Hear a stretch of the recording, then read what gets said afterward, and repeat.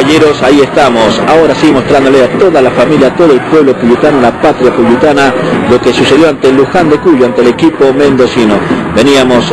eufórico del triunfo ante San Martín de Rodeo y esperando que los tres puntos iban a quedar en casa, no fue así, balde de agua fría, pero este viernes tenemos la gran revancha para enfrentar al Peñarol cuando una penúltima fecha de este torneo federal B. Ahí vemos un avance, atención a esta jugada, el centro en vez aparece nuevamente Santiago Davio, tremendo eh, jugador, cámara desde abajo, el centro enviado pega en la cabeza de un defensor de, de Luján de Cuyo, le cae servidita, ni lerdo ni perezoso, comienza a festejar Santiago Davio con su festejo particular y la montaña humana de todo el cuerpo técnico. Como le decíamos, este viernes tenemos la invitación y la obligación de apoyar nuevamente Sportivo Desamparado en el biserpentario cuando juguemos ante Peñarol. Abrazo y saludo enorme para Milagro Guzmán de la Escuela Femenina de Fútbol que este sábado van a jugar ante el Globo.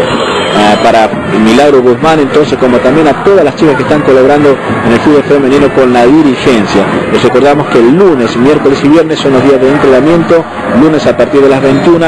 miércoles y viernes a partir de las 22. También la otra disciplina deportiva que está la escuela de boxeo y el fútbol de salón. Seguimos con las imágenes de este Esportivo Desamparado y observe lo que es la pasión del hincha de Deportivo Desamparado allá en lo, en lo, alto de la popular está esperando ya la gente el segundo tiempo para que comience. Ha comenzado el segundo tiempo, Esportivo está ganando 1 a 0, sin embargo este limitado Luján de Cuyo iba ordenadito por cierto, pero que no dañaba, sin embargo iba a tener oportunidad de desamparado y la iba a desaprovechar. Hasta los últimos finales Esportivo podría haberlo empatado o ganado, sin embargo no fue así y habrá que trabajar mucho más a la hora de definición, que es lo que prácticamente define los pases a las otras fases de este torneo. Un centro enviado, el despeje, los puños del arquero de Luján de Cuyo y atención a esta jugada que va a venir rápidamente un contragolpe de la gente de Luján, cierra la gente de Deportivo Desamparado y hay una fuerte infracción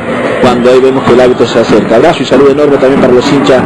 de Deportivo Desamparado cuando vemos el centro del descuido. Observen, luego de esa falta se va Costi junto con eh, Matías Saco al mismo hombre y aparece este jugador solo para meterle el testazo, el frentazo ante la mirada de Martín Zambor que nada tiene que hacer. Descuido,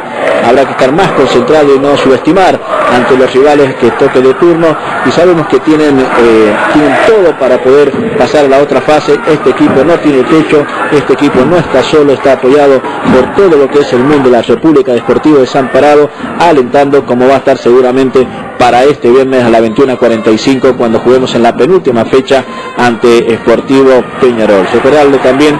que viene, atención a esta jugada, lo que hablábamos, ahí está Prieto, se la da para Judillo, Tomás Celo y sin embargo se deja caer, producto también de verse tan solo, lo primero que hizo como desligarse, pegarle de cumplido y no fijar un palo donde el, donde el arquero está prácticamente vencido y esto es lo que cuesta y esto es lo que después trae los pequeños dolores de cabeza para poder hacerse la autocrítica. Las oportunidades hay que aprovechar, las oportunidades hay que meter los goles, así es el fútbol, señores, no se merece, se hacen los goles y aquí está. Otro descuido, Matías Saco que llega tarde para que este hombre realice el centro, el anticipo del jugador, se tira ahí Pablo Coste, sin embargo,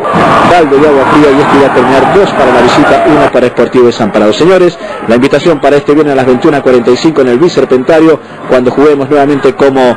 local ante Peñarol. Abrazo y saludo enorme para la gente del Far West y bienvenido nuevamente a la primera categoría del fútbol sanjuanino, a la gente de Marquesado, a los dirigentes, a los hinchas y al cuerpo técnico. Felicitaciones. Señores, la invitación es para este viernes a las 21.45 en el Biserpentario ante Esportivo Peñarol, como es la sana costumbre de todo el apoyo en especial de la Guardia Puyutana. Salud para Esportivo Desamparados y esperemos que los tres puntos vuelvan al barrio Patricia San Juanina cuando enfrentemos la penúltima fecha a Esportivo Peñarol en este Federal B.